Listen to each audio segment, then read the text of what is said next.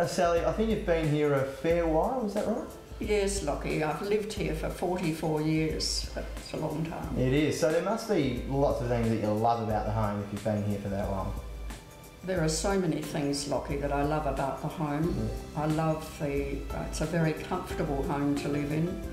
It's um, got a beautiful garden and we've decorated the house to suit ourselves. It's got separate um, living areas. There are three bed, main bedrooms here.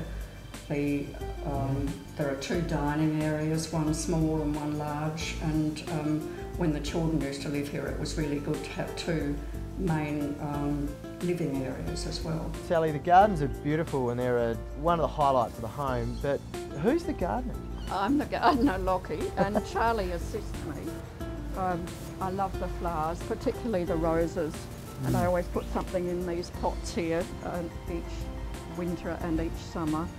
And normally I pick about eight vases of flowers a week, or sometimes more. Is that right? But it's a great love, and it's been very rewarding. Now, the house was built in 1906 and there are uh, some um, absolutely beautiful period features in the home, but what are some of the uh, improvements you've made over that time? We've done some great things to the house to make it more livable and more enjoyable. We um, built this family room and another um, bathroom and a laundry. We upgraded the main bathroom a few years ago and built the kitchen about six years ago. The other thing we have done is put in a refrigerated air conditioning, reverse cycle, which is in every room, which has been a great help during the summer.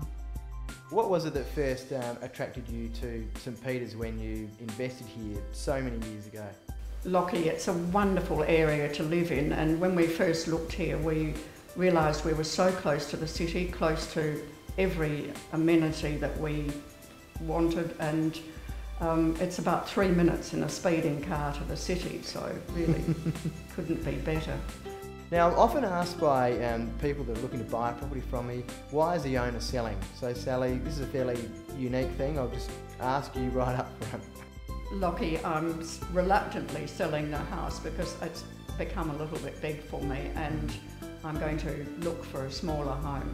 This is a family home, a wonderful um, home to bring up a family in, and it's um, a little bit big for me at the moment.